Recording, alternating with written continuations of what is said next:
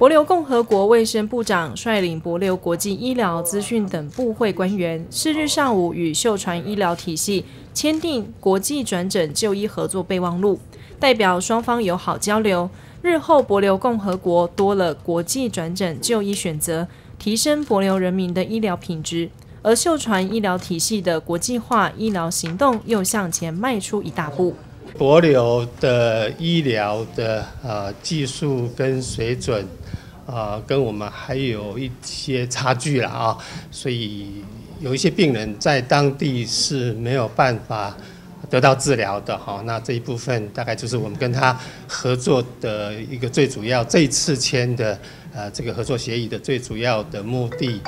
博流共和国卫生部长指出，过去两年多来，秀传医疗体系提供博流人民公共卫生与远距医疗的服务，加惠许多博流的民众。尤其更赞赏秀传医疗体系的设备及医护人员的水准，期望透过国际转诊就医合作的签订，让博流民众享受高水准的医疗。当地有一家大型的医院，那他们的专科医师及硬体设备。不是像台湾这么的充足，所以如果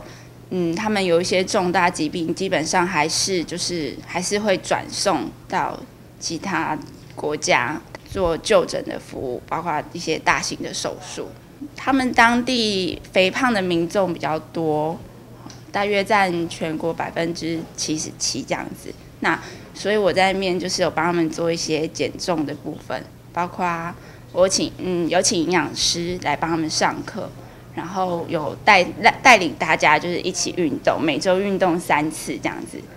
双方签立国际转诊就医合作后，借由秀传医疗的协助，让博流共和国的医院资讯系统更加完善，缩短当地人就医时间，让民众在就医上更加便利，并提升医疗品质。公益频道林俊明鹿港采访报道。